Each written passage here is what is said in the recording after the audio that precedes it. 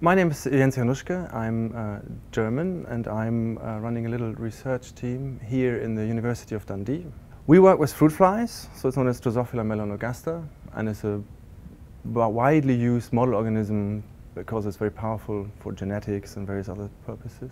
I'm interested in understanding how, how cells become different from each other. So you think of it, um, we all start from a single cell, which is an egg, and then you, this development magically takes you through a process which generates uh, the adult. So how do you generate from one single cell an organism that has much more uh, variety in cell types? And there's many ways nature has actually invented to do this.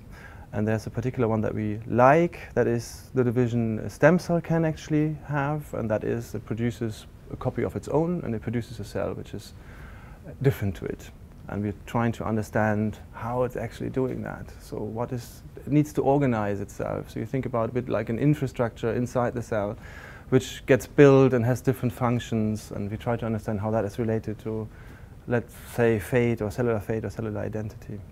And that happens in, in our case, in the developing nervous system in the fly, because we can nicely visualize the cells and watch the dynamic uh, of the process unroll over time why did I start working with the fly is um, we had a very excellent um, developmental biology course in the University of Cologne.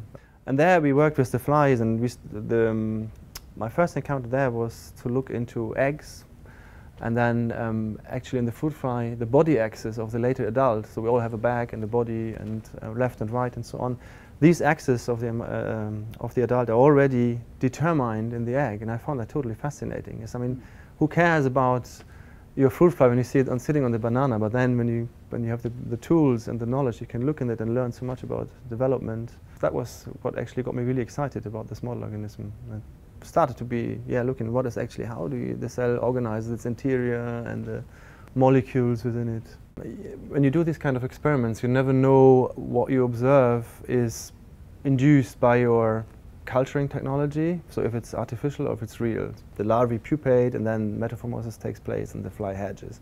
So these are different stages during development. But um, if everything goes wrong, you can image them for a couple of days, that we've been able to, and then you can see that they probably become smaller, change behavior, and eventually will even uh, differentiate. So that would be a good indication that your cell has been healthy throughout the process. You can use different culturing techniques then, but you can make them immortalize. That would require sort of in vivo culturing. That means you take the brain tissue, sounds a bit horrible, but you stick it into the, the belly of another fly and then it has the perfect culturing conditions.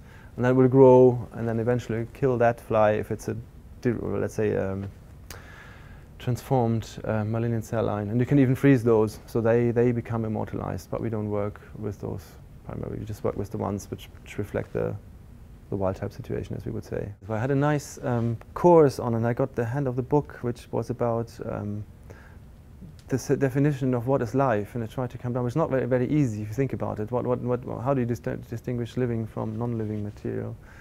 And in the course of that, I think um, one important transition, I think, in the evolution is, is, the so-called RNA world, where people realize that there's molecules which can have enzymatic as well as information carrying function and so on.